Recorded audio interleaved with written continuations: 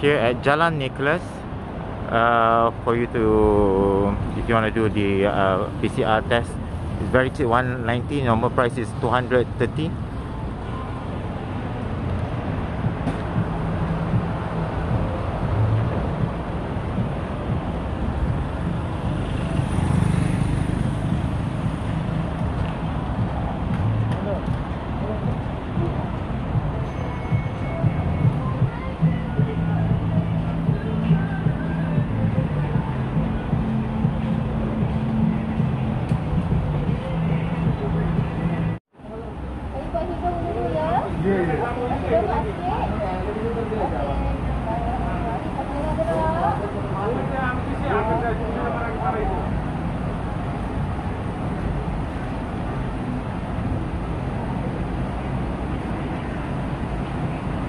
for senior citizen is only 120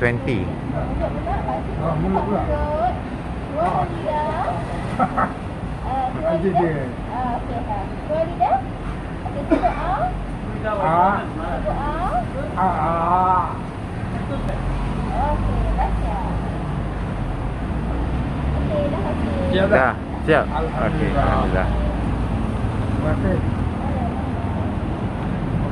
Saya ingat dah buat buat macam mana. Allahu Akbar. terima kasih Okay, terima kasih. Terima kasih.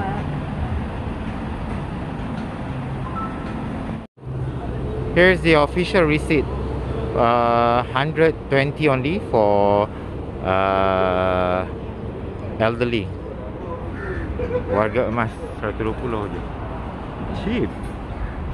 And then result 24 hours and then I I asked uh, if I can get the result by print for tomorrow and then he said yes can. Yay! Thank you.